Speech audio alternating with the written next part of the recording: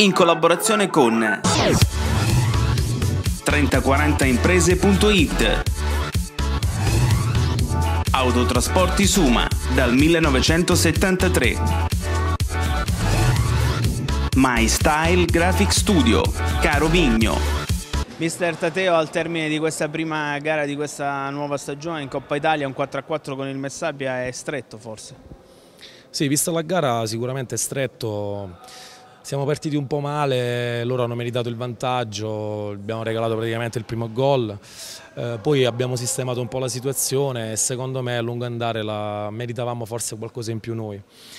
Certo se alla vigilia mi avessero parlato di un pareggio ci avrei messo la firma perché comunque siamo, siamo partiti un po' in ritardo quest'anno, siamo ancora fuori condizione, ci sono molti ragazzi nuovi, quindi non ero molto fiducioso per la gara di oggi. Poi durante la gara quello che avevo previsto non, non, non si è realizzato e, e ci è venuto l'acquolino in bocca, purtroppo è andata male però perlomeno siamo in gara, ora c'è un ritorno sabato prossimo a Brindisi e abbiamo tutte le carte in regola per giocarci l'accesso ai quarti di finale. Venendo poi all'inizio del campionato, tralasciando la Coppa Italia che è comunque una competizione importante, sì. quali saranno gli obiettivi di questa società e della sua squadra? Beh, gli obiettivi sono sempre gli stessi, noi siamo nati sei anni fa per portare questo sport eh, nelle nostre zone che prima non esisteva, quindi avvicinare sempre più gente, crescere ragazzi giovani, abbiamo un settore giovanile florido, quindi l'obiettivo è quello. Io oggi avevo quattro under eh, in squadra e l'obiettivo è portarne sempre di più.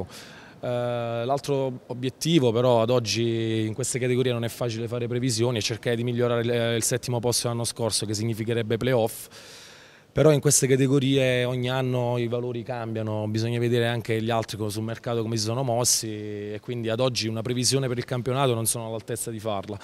Però come progetto in linea di massima è sempre quello, crescere i nostri ragazzi. Se voi fate caso abbiamo, avevamo 98 in porta, un ragazzo giovane di Ostuni, eh, che è un'età che normalmente si, si giocano gli allievi e gli juniores. Eh, addirittura lui ha scalato, Under 21 sta già in prima squadra e para titolare, quindi insomma stiamo rispettando la nostra tabella di marcia. Una doppietta che consente alla Real 5 di pareggiare una partita importante con la Messapia Prindisi in questa prima giornata di Coppa Italia, quindi un momento importante. E come no, sì, ci, ci, siamo allenati benissimo, soltanto che il pareggio ci sta un po' stretto, da, però dal modo come abbiamo giocato, voglio dire, eh, al ritorno ce la giocheremo comunque. Come vedi questa Real 5 quest'anno?